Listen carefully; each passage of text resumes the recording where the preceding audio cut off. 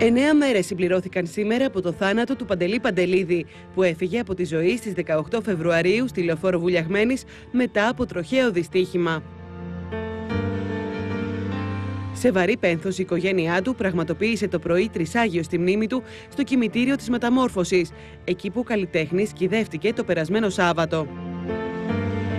Το τρισάγιο πραγματοποιήθηκε σε πολύ στενό κύκλο. Η μητέρα του, ο αδερφός του, λίγοι συγγενείς, συνεργάτες και στενοί φίλοι προσευχήθηκαν για τον τραγουδιστή. Είχαμε τα 9 μέρα του τραγουδιστή, του λαϊκού, του Πόντιου, ε, το οποίο παραδρόντησαν γύρω στα 80 άτομα, περίπου.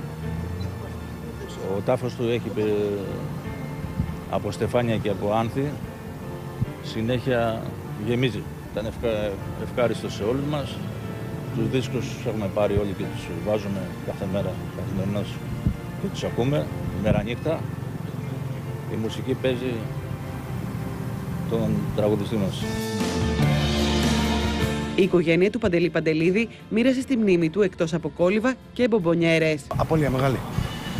Άδικος ο Θεός. Ήταν ένας πολύ καλός τραγουδιστής, πήγε πολύ ψηλά. Άδικος ο Θεός, τίποτα άλλο.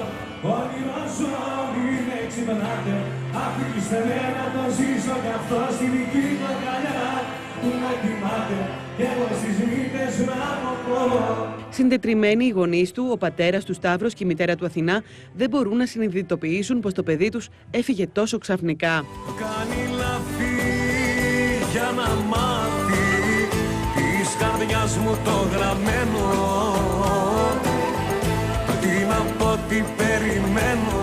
Τα δάκρυα δεν στεγνώνουν για την απώλεια ενός νέου παιδιού, ενός αυτοδημιούργητου καλλιτέχνη που κατάφερε να κάνει τα όνειρά του πραγματικότητα και δεν πρόλαβε να γευτεί την επιτυχία του.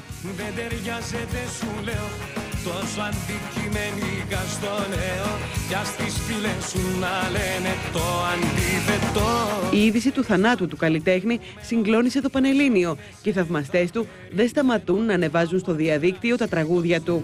Συνοδεύομαι,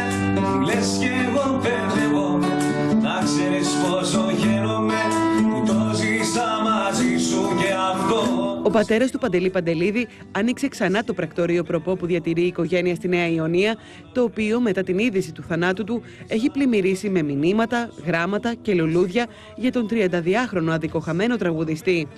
Όμως η ζωή της οικογένειας είναι αδύνατον πλέον να γυρίσει στους κανονικούς της ρυθμούς.